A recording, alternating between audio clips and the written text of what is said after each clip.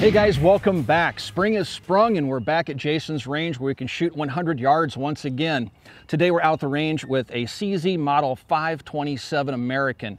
This is what they call a micro center fire on their website, which means uh, it chambers 762 by 39, or you can pick it up in 6.5 Grendel, even 300 blackout. Our friends over at Big Daddy Unlimited sent us this rifle to evaluate free of charge. They also support us over on Patreon. We are 100% viewer supported. We do not accept any industry money. We don't take money from Big Daddy Unlimited. We don't take money from Federal. We don't take money from anybody.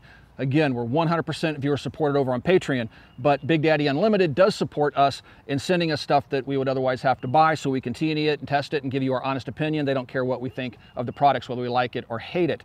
But I chose this because I was legitimately interested in this rifle. When I visited the Czech Republic, I had seen these rifles for the first time, and it really piqued my interest because really, guys, this is a miniaturized Mauser action.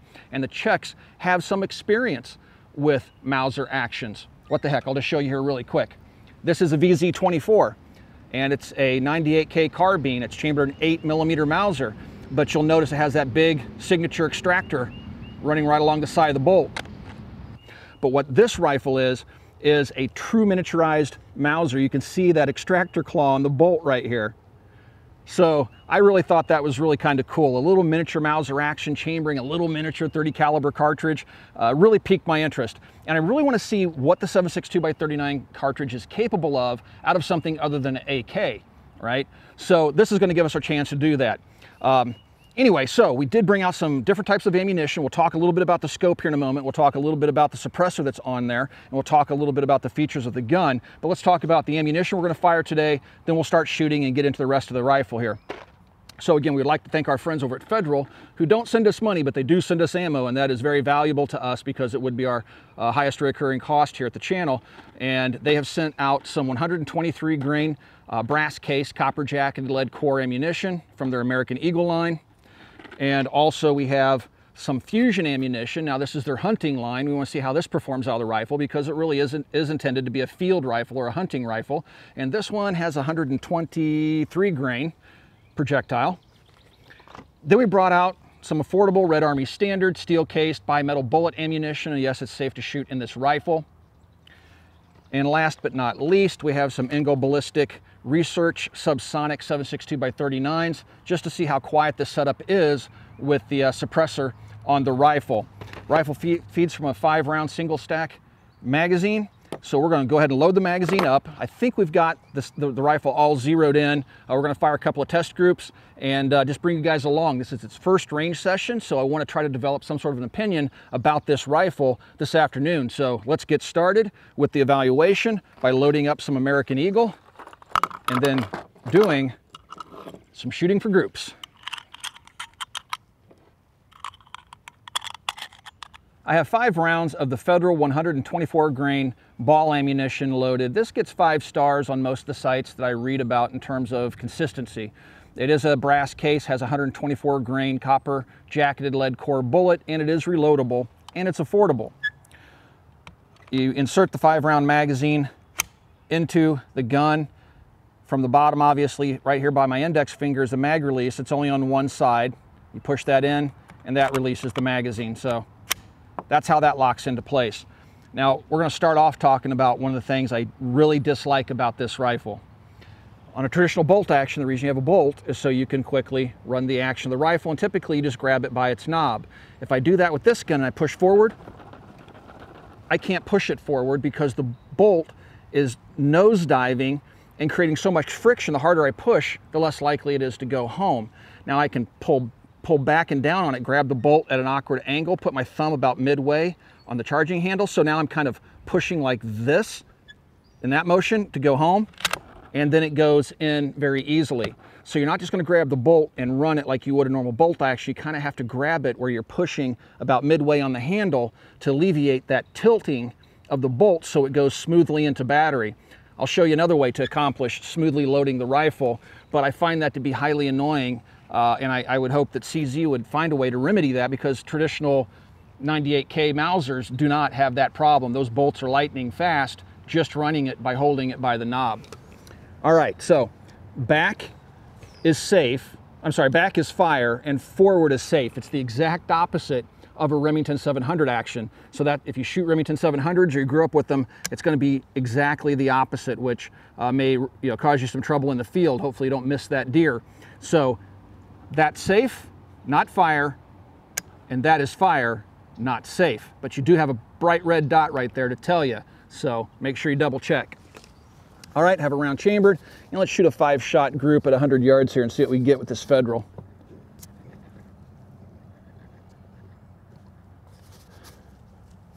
Now I'm gonna fire it with the trigger in its non-set position. It has a set trigger. On the next shot, I'll show you how that works.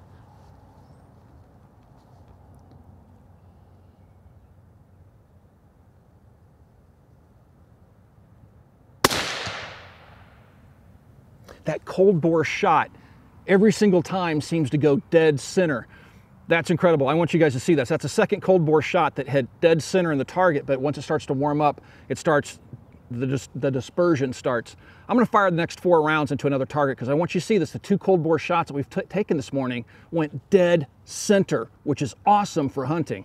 All right, now pull the bolt to the rear, kicks a spin out. The other thing you can do is just grab the bolt by the rear and it pushes right home and you don't have to worry about that bolt tilting again. All right, I'm gonna shoot four into the target just below that one because I want you guys to see these two cold bore shots. It's just unbelievable. It keeps doing it.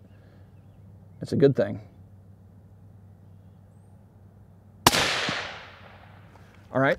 Now what I didn't show you was the set trigger. So I'm gonna go ahead and reload the rifle. Now if I take my finger and put it behind the trigger and push forward, and when it clicks, now it's in its set position. It's literally a hair trigger.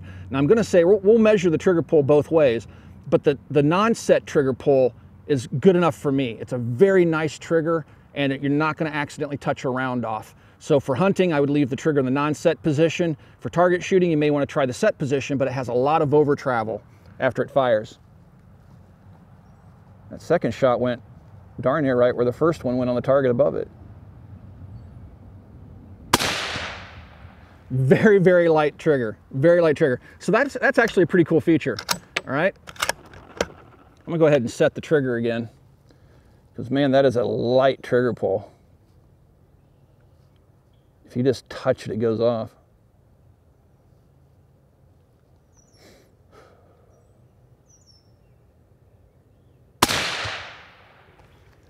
And should have one more round. Now you'll notice how I'm pinching it with my thumb midway down the bolt handle and it runs smoothly when I do that. Go ahead and set that trigger again.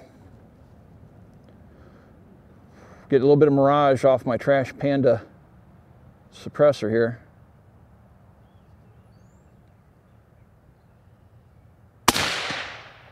All right. So there's a four shot group. We'll go ahead, let it cool off here, and we'll shoot a true five shot group. But I want you guys to see those two center, uh, center punch shots that were on cold bores. Maybe the third one will do the same thing. We'll let it cool off here for a second. We're getting too much mirage. Let's talk about the features of the 527 American rifle. Let's start off on the barrel. First of all, here on the end, I have a Q Trash Panda, which is a lightweight 30 caliber can. And uh, I've, I've had really good luck with the, uh, the Q suppressors. Very similar to the SIG products because there's a relationship there. Now, this one has become a direct thread can because the muzzle device is stuck in the can, but there are ways to get that out. We just haven't done that yet. On the end of the barrel here, we have a 5, uh, a 5 8 by 24 thread. Now, if you take a look at the barrel, it's, it's pretty much a lightweight profile barrel for a 30 caliber rifle. You'll notice it steps up right here where my uh, middle finger is. There's a step up to where it threads for the 5 8 by 24, but there's a slight taper going down to that point. It is a 16 and a half inch barrel. It has a twist rate of one and nine and a half inches. So every nine and a half inches, the bullet will make one revolution. And that seems to be a pretty good twist rate for those 123, 124 grain bullets.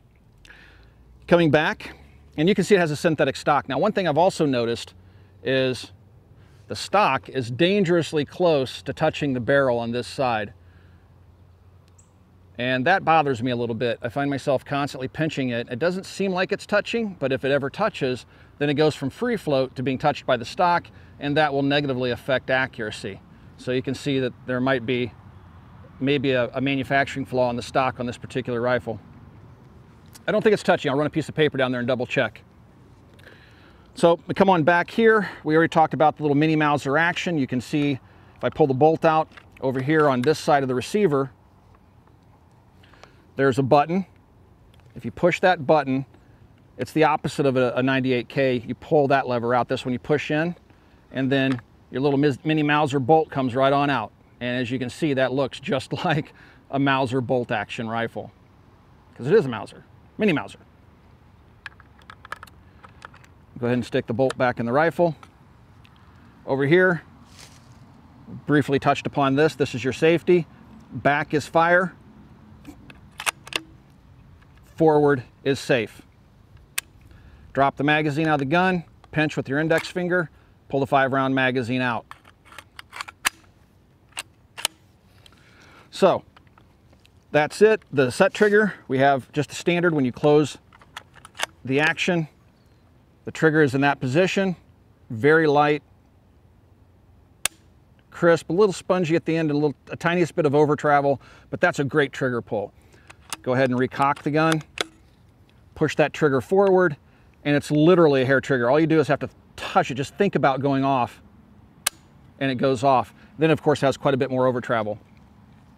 On top of the rifle right now, we have the CZ rings. These will uh, ship with the 527. They're one inch rings, but you can get 30 millimeter rings. Uh, so I had to try to find a one inch scope, and that's how I wound up with this Tract op optic on the, on the rifle.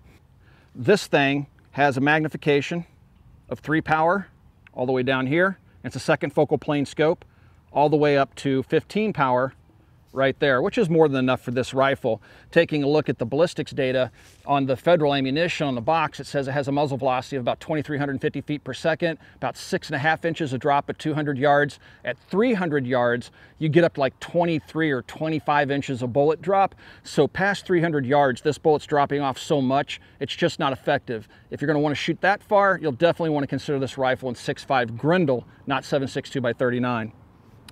All right, so let's see. We have on the Tract scope, you can see we have protective caps, and the, this is an MOA adjustment. So if you want to zero the scope out after you get it set, you just unscrew this top cap. It comes off, lift the turret dial, set it back to zero, and screw this top cap back on. They're clearly marked up and down. And it's a fairly decent scope. On this side, we do have parallax adjustment. To adjust it, you do have to pull the knob out, make your adjustments, and push it back in to lock it. You do not have locking turrets, but you have turret caps on here. And again, this is your magnification ring. And then back here on your ocular side, you can focus the reticle to your uh, eye.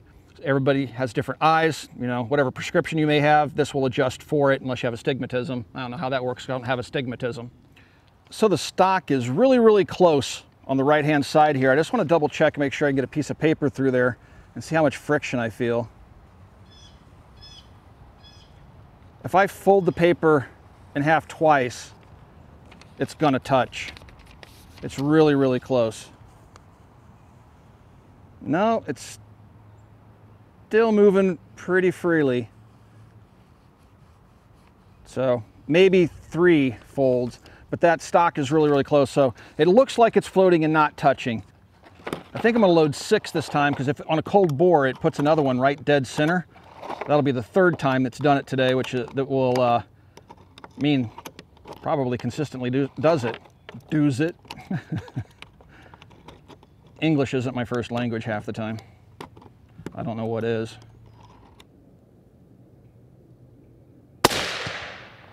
Pretty darn close pretty darn close.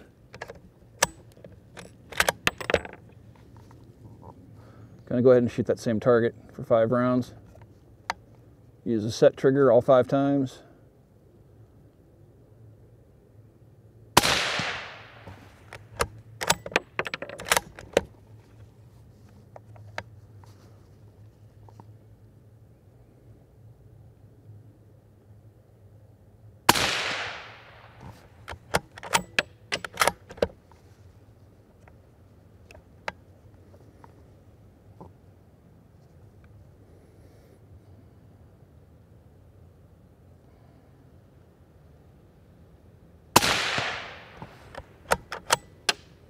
Is that four five?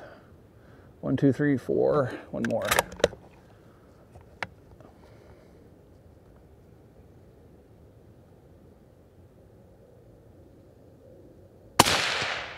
Okay, there's our five shot group. I'm not gonna fire that sixth round because that cold bore shot was just a hair off that center, but pretty darn close. So cold bore shots are very, very consistent with this rifle using the Federal American Eagle 124 grain stuff. So here are those two cold bore shots. This one, and it's just left of the orange dot. Cut it in half. And here's the other one. I mean, in the exact same position, but we didn't get a number three but that's still pretty impressive. This is our zeroing group where we're making sure that the rifle was zeroed. Confirmation is zero. Seems like, uh, it looks like we're stuck in between settings on the Tract optic. Uh, one click makes us a little bit right, one click the other way makes us a little bit left. So here's our first five shot group and it, and it measures center to center 1.25 inches at 100 yards, which makes it about 1.2 MOA out of American Eagle affordable brass cased plinking ammo at 100 yards. That's pretty impressive. So you're getting just a little over MOA accuracy out of the rifle using that ammo. So now let's try it with some other flavors. Let's see what the steel case does. Let's see what the hunting ammo does. And then let's play around with those subsonics.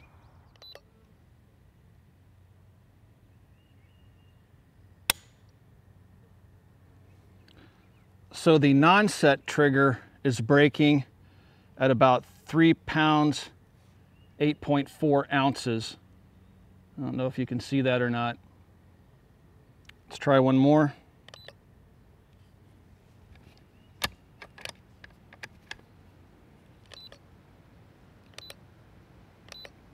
They advertise it at like five pounds, but it feels a lot lighter than that to me. Three pounds, 2.9 ounces. So yeah, it's, it's in the three pound range, which feels about right to me because it's, like I said, I really like the standard trigger. Let's go ahead and see what the set trigger measures at.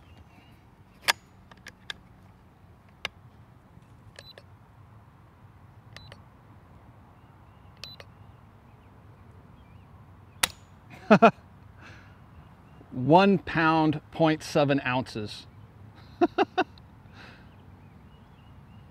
Let's try one more time, make sure that I, uh, I didn't bump the trigger. It's so light, guys. I mean, it's, it's crazy.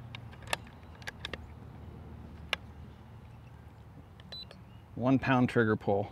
That's, that's surprisingly, surprisingly light if you guys don't understand trigger pull weights. That's crazy light. Okay, one pound, 0.6 ounces. So it's easily a one pound trigger pull when it's set to uh, its set trigger setting. So that's that's really, really light. I wouldn't want to take a shot on a deer with that because if you got any adrenaline going or whatever, just touching that trigger, one pound is nothing, guys. That'll set that gun off very, very easily. So you have those two options, a three pound trigger or a one pound trigger, right out of the box. Let's see how the Fusion hunting ammo does with regards to a 100 yard group.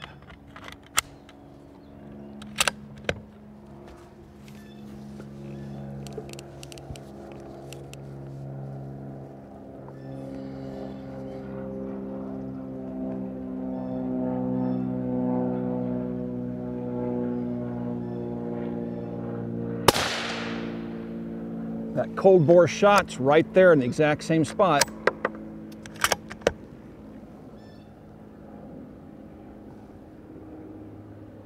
I'm gonna fire the other four into another group just so you guys can see that cold bore shot went right, right where I wanted it to once again. It's the third time it's done it today and that's with different ammunition.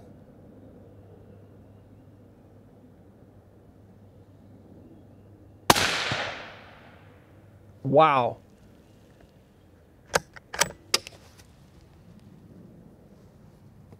Okay, the can's not loose, guys. That shot broke clean, but it went six or more inches high and left, completely wonky. Let's go ahead and finish this magazine out, but that was almost like the can became loose or something, but it's tight.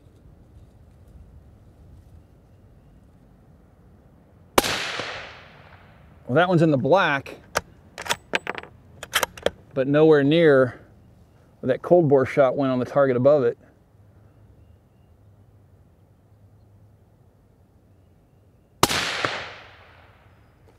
We're getting back towards center.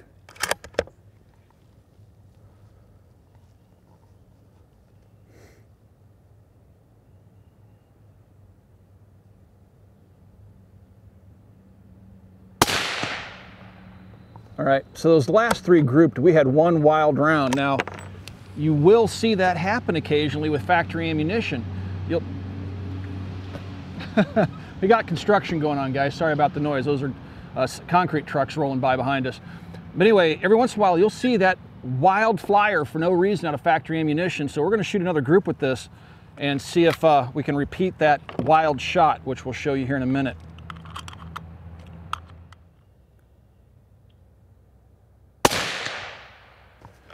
Good shot.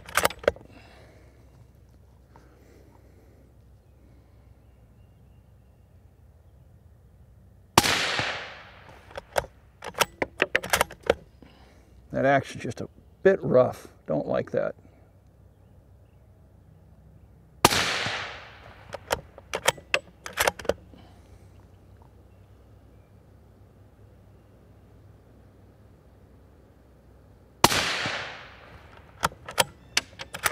And that mirage is really starting to affect what I see.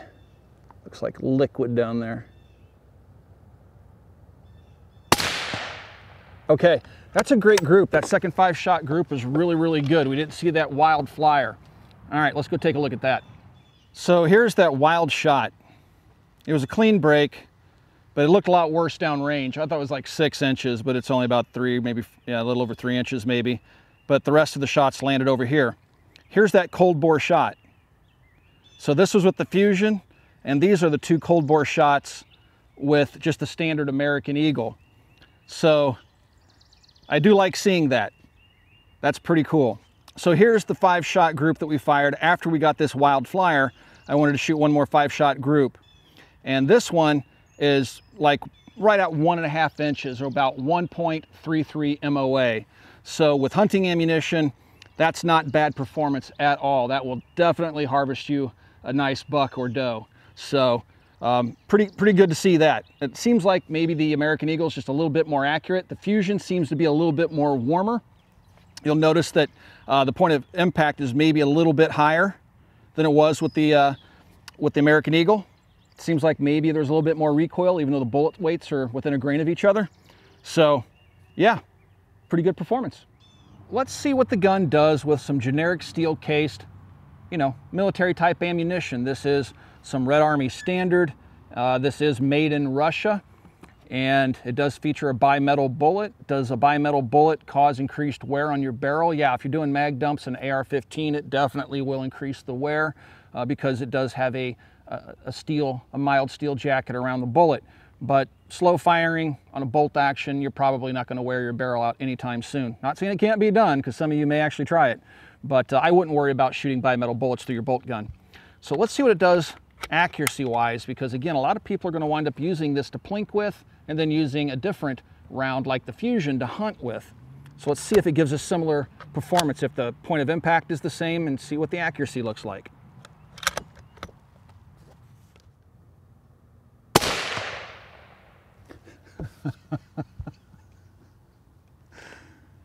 Dead center cold bore shot. Dead center. So I'm gonna go ahead and load up one more round to shoot a five shot group, but I want you guys to see this.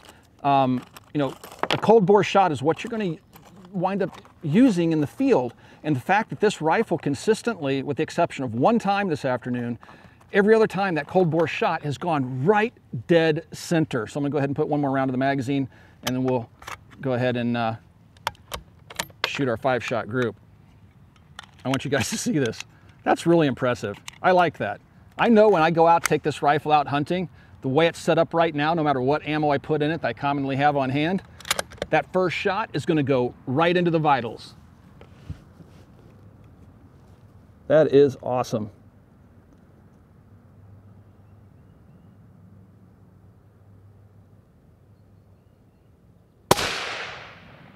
See, now that one went high and right.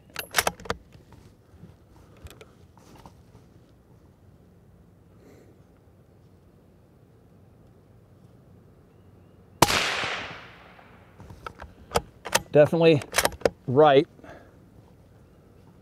Just barely in the black ring.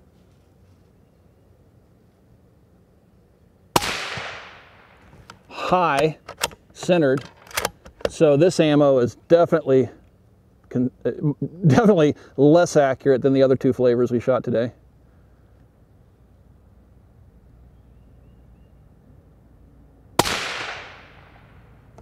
Yeah, this is going to be a not a good group. But for plinking, yeah, I wouldn't zero my rifle with this. I definitely use the federal stuff.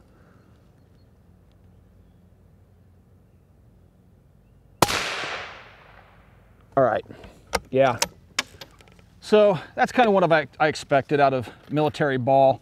Uh, we'll take a look at it downrange, but if you're going to want to hunt, this fusion seems to be good stuff.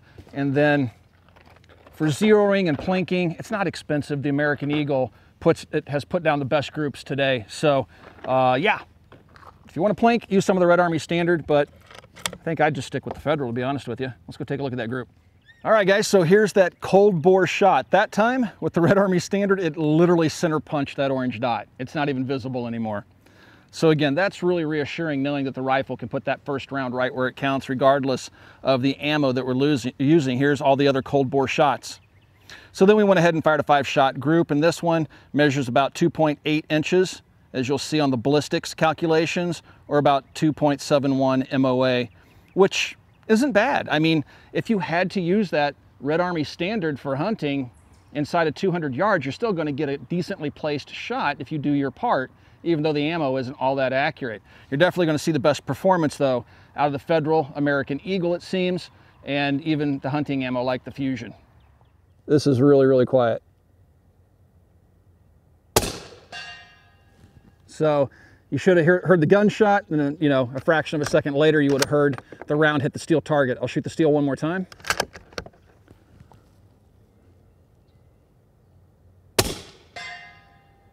All right, gives you an idea. It's really, really quiet. Now I'm just gonna shoot the dirt for you.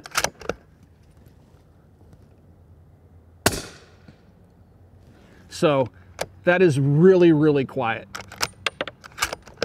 And definitely gives you some flexibility there ballistically, just like the 300 blackout.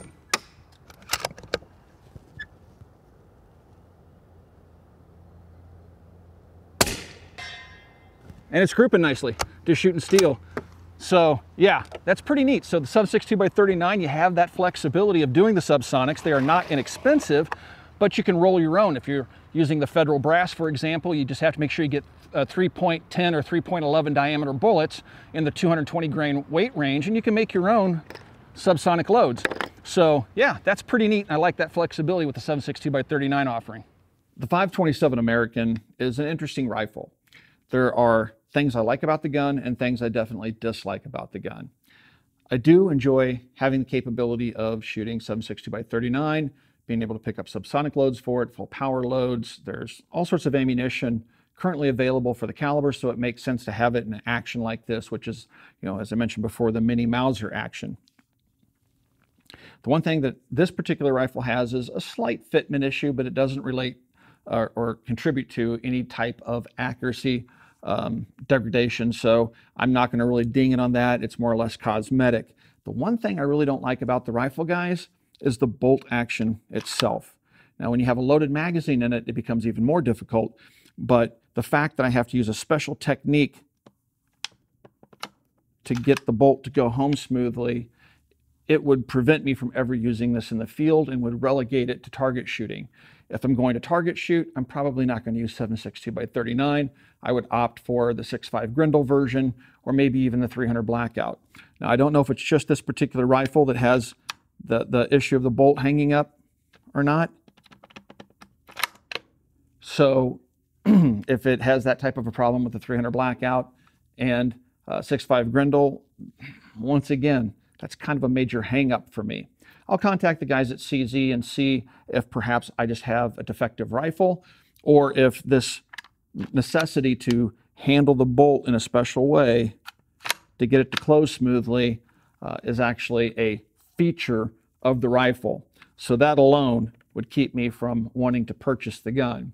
Guys, if you'd like to support us here at the Military Arms Channel, the best way to do that is to become a Patreon supporter. We're 100% viewer supported, which is how we bring you honest, unbiased, as humanly possible information as we possibly can.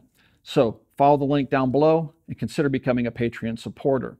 Also, swing by and check out coppercustom.com. And we are Twitch gamers. So if you guys like to join us in a stream, become a Patreon, send us a note, tell us that you're on the PSN network. We can connect that way via being friends. And then you can join us in a live stream over on Twitch. Thanks for 11 years of support. We'll talk to you guys soon.